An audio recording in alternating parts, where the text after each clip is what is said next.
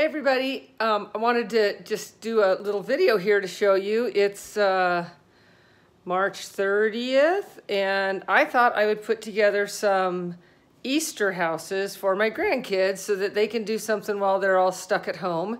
Um, so I'm gonna put the, I'm gonna make the shells and some of the decorations and then they're gonna put it all together. So here's what we got. If I could figure out how to turn my camera around, which I guess, oh here we go.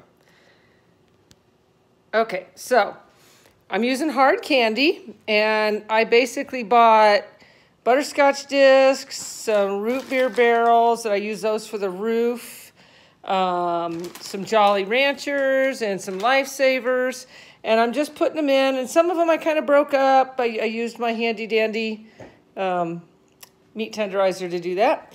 Um, there's the roof. I put little yellow ones in for the windows. We'll see.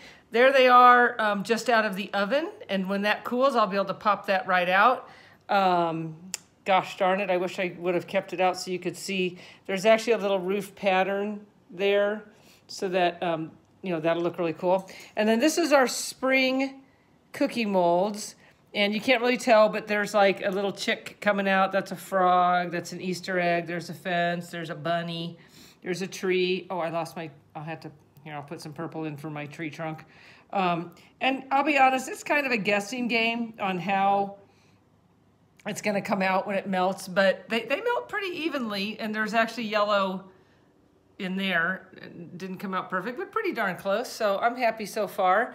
Um, and so like I said, I'll put those um, in a Ziploc, and I brought got some sprinkles and some other things like that that they can kind of decorate with. And just a fun little activity for the grandkids when there's not a whole lot else to do. So thanks everybody. Bye.